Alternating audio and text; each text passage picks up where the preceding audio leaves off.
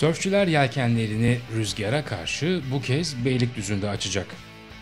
Beylikdüzü Belediyesi Spor İşleri Müdürlüğü'nün organize ettiği Türkiye Windsurf Freestyle ve Slalom Şampiyonası bu yıl Beylikdüzü'nde yapılacak. 14 ayrı branşta yapıyoruz bu sene yaz spor okullarımızı. Bunların bir branşı da rüzgar sörfü olacak. Tabii bu rüzgar sörfü e, şampiyonası, rüzgar sörfü şampiyonası bizim sporcularımız için de bir görsel olacak, bir ön ayak olacak. Daha sonra buradan yetişen sporcularımızı bu yarışmalarda görmek çok büyük arzumuz olacak. 5 gün kadar sürecek.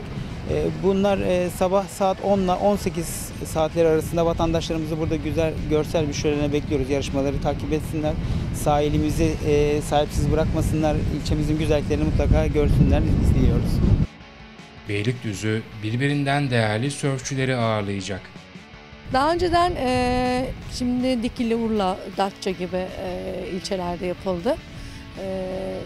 5 4 ayaktan oluşuyordu. 4 ayağın sonucunda bir Türkiye şampiyonası e, belli oluyordu. Şimdi ise biz biliyorsunuz Beylikdüzü olarak e, tek ayak olarak aldık ve burada her şey ünvan olarak burada verilecek. Slalom ve e, freestyle olarak düzenlenecek. 5 kategoride olacak. Genç kadın, genç erkek, işte e, kadınlar masterlar olarak 5 kategoride planlanıyor. Bir anda çıktıkları zaman inanılmaz bir görselliğe sahip olacak Beylikdüzü. Buna şahit olacağız.